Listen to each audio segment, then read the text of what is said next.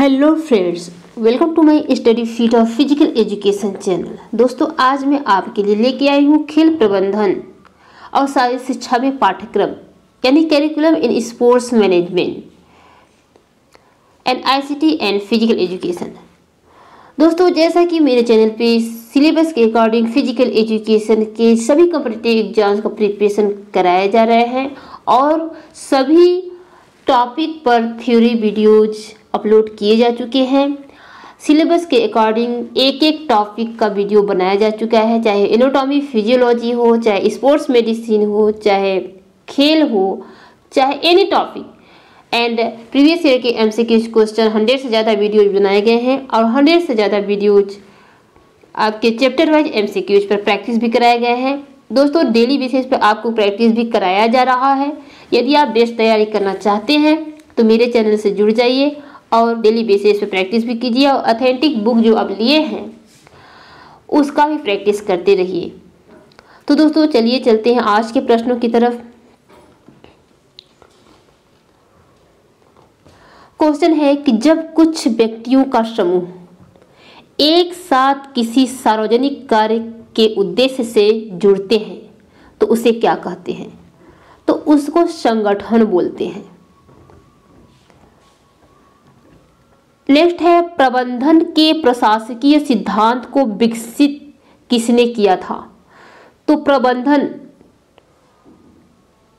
के प्रशासनिक सिद्धांत को विकसित किया था हेनरी फ्याल ने। नेक्स्ट है, खेल प्रबंधन है। तो यह एक कला और एक विज्ञान दोनों है। नेक्स्ट है, अभ्यास क्यों ज़रूरी है? तो विद्यमान कक्षा की तैयारी करने के लिए।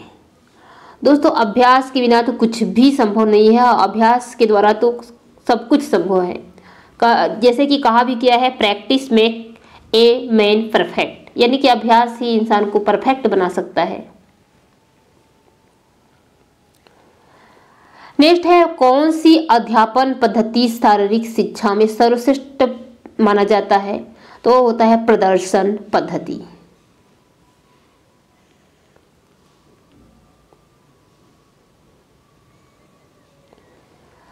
नेक्स्ट है, भारत में सर्वप्रथम किस समाचार पत्र द्वारा खेल समाचारों को प्रकाशित किया गया था? तो वो है द हिंदू। नेक्स्ट है, बजट क्या है? तो दोस्तों, बजट है आय व्यय का अनुमानित विवरण। यानी बजट का मतलब ही होता है कि आपके पास कितना आय आ रहा है और उसका आप कैसे मैनेज करेंगे अपनी, अपने सभी, चाहे प्रबंधन में हो, चाहे किसी प्रशासन में हो, चाहे घर में हो। तो कैसे आप उसको मैनेज करेंगे? जितना आय आ रहा है, मान लीजिए आपके पास बहुत कम आय, आ रहा है, लेकिन आपको उसी में अपने सभी खर्चों को मैनेज करना है तो कैसे आपको आय जो आ रहा है और व्यय कितना करना है? उसका अनुमान लगा करके उसमें संतुलन बनाना ही एक बजट होता है। नेक्स्ट है, खेल उपकरण क्रय करते समय किन बातों का विशेष महत्व है?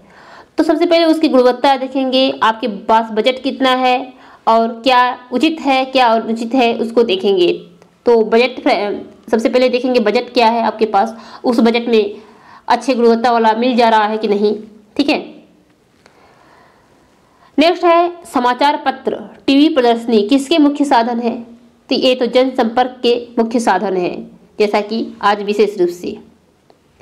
नेक्स्ट है शिक्षा पद्धति, पाठ्यक्रम विधि आदि में सुधार करने में मदद करता है। तो कौन करता है? पर्यवेक्षण, यानी किसी चीज़ का निरीक्षण करना, पर्यवेक्षण करना ही हर चीज़ में सुधार करने में मदद करता है। नेक्स्ट है, विषय पाठ के अंत में शिक्षक को यह सुनिश्चित करना चाहिए कि छात्र कार्यस्थली को इसमें से किस स्थिति में छोड़े। तो हमेशा सकारात्मक सोच के साथ पाठ के अंत में शिक्षक को, छात्रों को कार्यस्थली से छोड़ना चाहिए। नेक्स्ट है, इनमें से क्या शारीरिक शिक्षा की सुविधाओं के स्तर की आवश्यकता का निर्धारण करता है? तो शारीरिक शिक्षा की सुविधाओं के स्तर की आवश्यकता का निर्धारण कौन करता है दोस्तों? तो होता है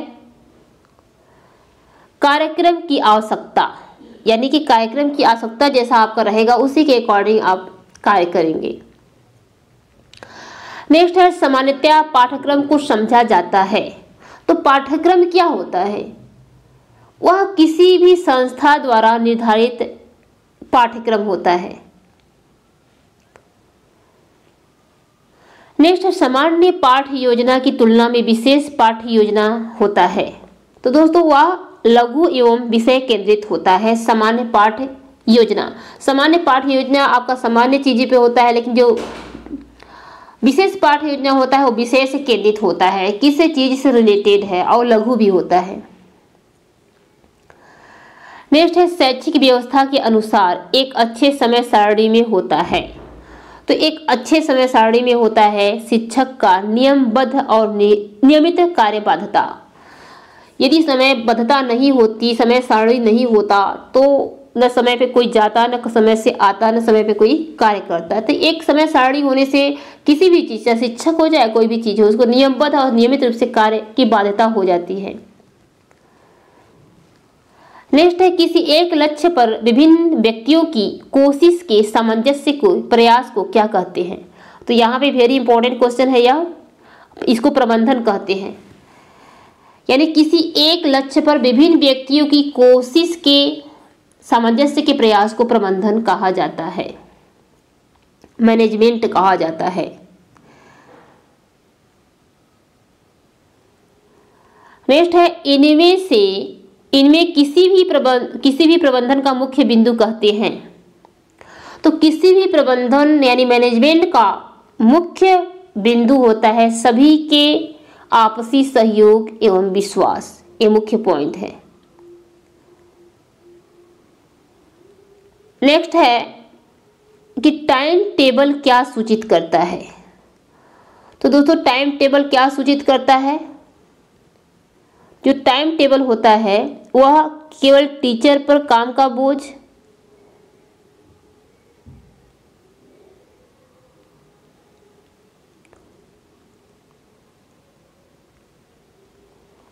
एंड स्कूल की कार्य संचालन अवधि, विशिष्ट समय पर क्लास या टीचर का स्थान।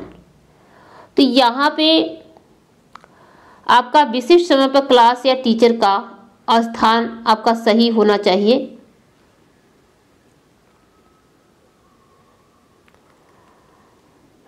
दोस्तों, यहाँ पे उपरोक्त सभी सही हो जाएगा। क्या सही हो जाएगा? उपरोक्त सभी। लेकिन यहाँ पे ऑप्शन नंबर ए जो है टाइम टेबल क्या सूचित करता है? केवल टीचर पर काम का बोझ। ए तो आपका नहीं। ए ऑप्शन नंबर ए यहाँ पे नहीं हो सकता। तो यहाँ पे ऑप्शन नंबर सी ही होगा कि विशिष्ट समय पर क्लास या टीचर का स्थान। नेक्स्ट है, निम्न में से कौन सा घटक टाइम टेबल पर प्रभाव डालता है? तो विद्यार्थी की संख्या कितना है? उपकरण की उपलब्धता कितनी है? मौसम की स्थिति क्या है? ये सभी चीज़ें प्रभाव डालती हैं तो उपरोक्त सभी यहाँ पे सही हो जाएगा। नेक्स्ट है निम्न में से किसने सबसे पहले स्कूलों में आधुनिक शारीरिक शिक्षण शुरुआत करने की पहल की?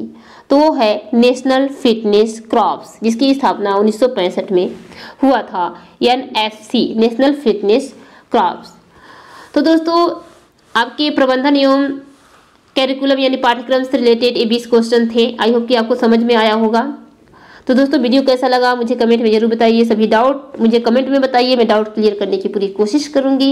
एंड ज़्यादा से ज़्यादा वीडियो को शेयर भी कीजिए। फ़र्स्ट बार विज़िट कर रहे हैं तो चैनल को सब्सक्राइब कर लीजिए। बेल आइकन को प्रेस कर लीजिए जिससे न्यू वीडियो का अपडेट आप तक पहुँचता रहेगा। तो मिलते हैं नेक्स्ट वीडियो में। तब तक के लिए जय हिंद।